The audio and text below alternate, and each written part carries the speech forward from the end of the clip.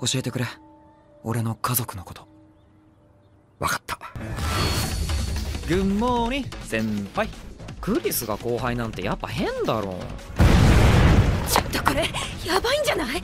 変わるぜこの国は。残された道はただ一つ。できる限りのカードを王家の元へ戻すこと。カードの管理を任されているのは私です。あんたのカード回収させてもらうようこそ影の中へ。急がば走れ。誰よりも早く。君は悲しい存在だね。ゼノンがスパーダに戻ってきた。黒騎士を満足させるため。これはどうにもまずいですね。カードを自由に使える世界が来るんだ。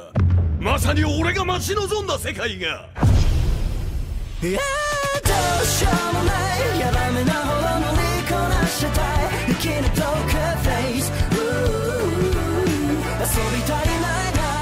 な正解のない世界でも傷が治らない。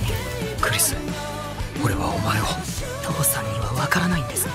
大事な人のためにカードを使わざるを得ない人の気持ちが。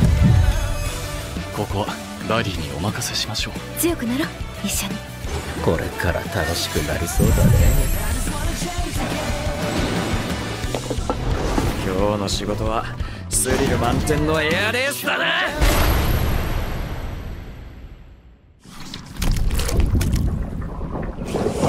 あいつが。